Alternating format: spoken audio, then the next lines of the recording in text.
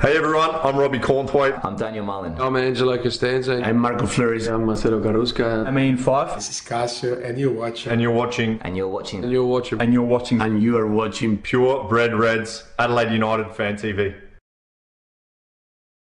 Hi, I'm Daniel Mullen, former Adelaide United player and Asian Champions League winner with Western Sydney Wanderers. When it comes to any of my soccer needs, I do my shopping here at Soccer Locker.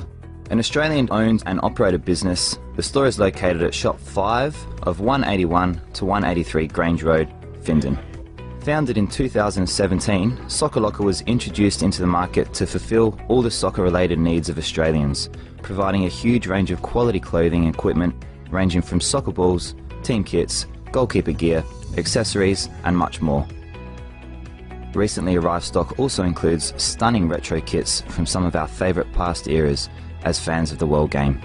Soccer Locker is a specialist in premier range boots, Adidas and Puma, goalkeeper gear, and licensed merchandise. Visit us online at www.soccerlocker.com.au with free delivery Australia wide. So get shopping now at our Findon store, open from 10am to 5.30pm from Monday to Friday, and open Saturdays from 9am to 3pm. Hello and welcome to the Purebred Reds Adelaide United Fan TV. I'm your host Ellis Gelios coming to you from the pristine Flow FM studios for yet another week. Disappointingly coming off the back of a very, very bleak 2-1 loss to our main rival Melbourne Victory last time out, which was uh, a real sore point for me and many others. And uh, it's not looking overly great as Adelaide United fans at the moment. Plenty of questions, not many answers. Four games in, no wins is very concerning. We're in to preview the game against Western United. Friday night, uh, it's going to be a massive game for both teams. Western United in great form, Adelaide United in anything but, and uh, Western United now third on the table, uh, just a point off of first. So they're really looking good, Western United, under John Aloisi, the South Australian legend, who is, of course, the new head coach there. If you're not travelling tomorrow night to the game, uh, it's 7.15 kicking off at AAMI Park and uh, make sure that you catch all the action live on Paramount Plus as always. Just in terms of a little rundown before we get into the thick of it for the preview.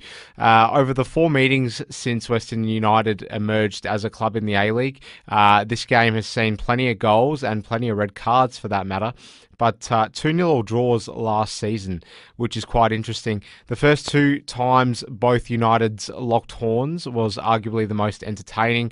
Seven goal thriller going our way. That was played at Whitten Oval back in the 1920 season.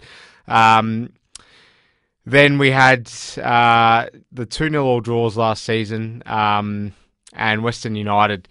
I think, are going into this game looking much the better side. Uh, let's talk about the Melbourne victory game. Uh, 2 1 loss, uh, really disappointing in the end. Uh, we did match them in parts of the game, but at the end of the day, Melbourne victory, in my view, were always going to do what they did, and that's basically squeezing the game, uh, playing with a sort of counter attacking mantra, but we needed to take our chances and we needed to firstly create chances uh, to have any chance in this game because Melbourne Victory, player for player, are a way better team and they were always going to utilise the counter attack, and that's exactly what they did, benefiting from mistakes and, and scoring the kinds of goals that we can expect them to score all season long under Tony Popovic. We know this is how Tony Popovic plays. Very disappointing that uh, they were able to win this game 2 1. First time they've beaten us at Cooper Stadium in years, and really sucking the life out of our campaign at the moment because uh, at the moment it's not overly fun times being an Adelaide United fan. Four games, no wins. Carl Veart saying that he's getting philosophical um, about you know the nature of performances and not getting carried away about the fact that we're not winning games. Well, you got to win games, Carl, and you'll be judged on your results. And right now, it's not looking good for you. Um, so yeah, disappointing. And what, what I found even more disappointing about that Melbourne victory game was the crowd. A picture perfect uh, scene was set at Cooper Stadium. Beautiful Saturday night at Adelaide, um, in Adelaide rather, and it was just an eight thousand turnout, which is possibly our lowest ever game for a Melbourne victory at home. I don't think I recall seeing a lower one, and there's no excuses to make. The weather was great. Um, you know, you can go on all you like about the vaccine policy, but that is what it is. And I really, without having the data here, uh, would be backing myself to, to go out on a limb and suggest that I don't think that would impact things that drastically to the point where we're now getting 8,000 people out to a game.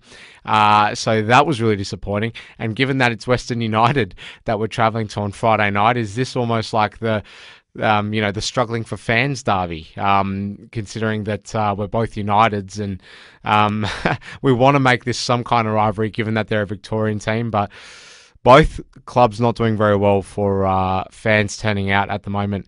That is for sure.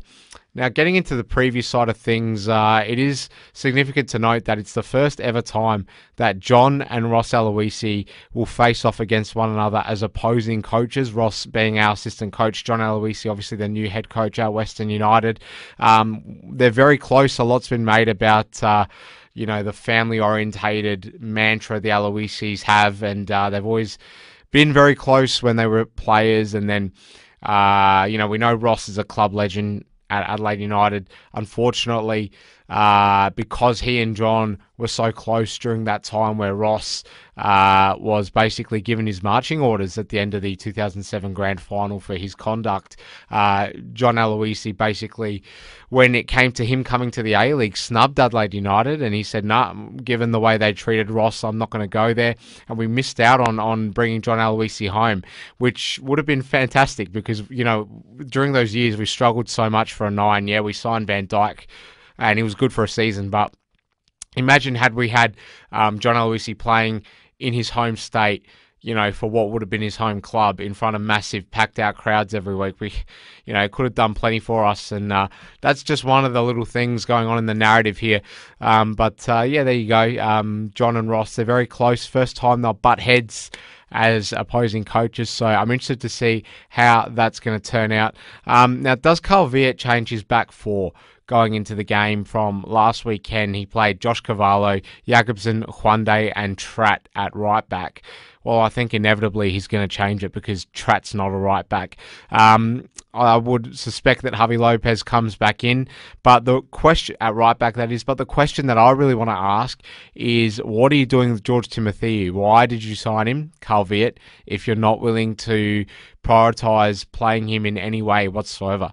Um, I think he's done enough without standing out to at least merit some kind of opportunity whereby you don't just bring him in for you know a stopgap purpose and then he's out again the next week. Bring him in. If he's solid against Western United, even if we lose, even if we concede goals, just persist with him for a little bit. He's a young player we know that uh, you know it's pretty remarkable that he got to play for Schalke in Germany. Got one appearance there. Yes, it was a bit of a charity appearance, with all due respect to him, but to get to that level, nevertheless, is a pretty impressive thing. And so I think you know it's logical that George Timothy, considering no one else is really reliable, like Jakobsen's now pretty old. Tratt's not really an established A League player. He's been at other clubs, Perth Mariners, whatever, but he's not lasted anywhere. Um, bit of a stint overseas you know, you can make what you want of, you know, his quality, but I don't think he commands a spot over Timothy. that's for sure. And I'd like to see Timothy get backed a little bit more by Carl Veart. Otherwise, what are we doing signing him? Why why not just bring in scholarship centre backs? Because you know, Timothy is not being utilised. It's just a waste of space having him. Um, so bring him in, I say. Um, now, Western United's resurgence under John Aloisi, is it real or is it just a honeymoon phase uh, since Mark Rudan exited Western United? I think it could be real. Um, you know, they're now three wins uh, back to back and I'd hate to say it, but I think John Aloisi is really gathering some steam at Western United. Many people probably didn't expect him to succeed, yet here we now are seeing Western United um, with all the troubles they have off the pitch in terms of you know, getting that um, that infrastructure up and running. They're up and about, three wins in a row. Um, you know, slender wins, and some of them have been pretty lucky. I think the Perth Glory one definitely was very lucky. Um, but you know, nevertheless, they've done the hard work to get three wins, and they're just a point off top. Um, you know, in a much better position than we are in. Um, now, I think personally, Western United are a significantly better team on paper than us and probably on the pitch right now too. I'm willing to say it. I don't really care. I don't care that this is an Adelaide United podcast.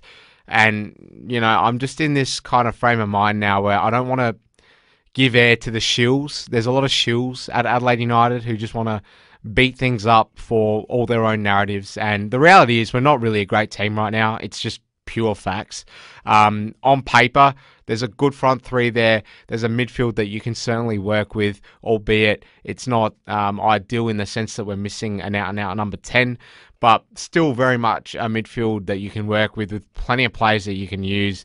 A defence that's not good enough, and a goalkeeper who's had good moments is still young.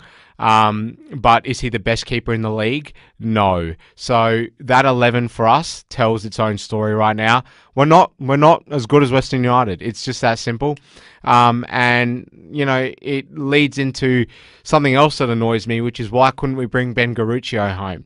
With all due respect to Cavallo, I don't think he's a left back. He's a midfielder. You know, we can talk all day and all night about the fact that we've molded him into a left back. He's been adequate there. Uh, he's had some good performances. I think against Brisbane Roar, he uh, certainly put his body on the line. But it's still us trying to stretch out um, you know, a utility player in a position that is foreign to them. Um, why couldn't we sign Ben Garuccio, who Western United have on their books now? Obviously, um, a guy that's gone to Hearts. He's South Australian born, former Adelaide United player, came to us after our championship season didn't have the best time, but did okay.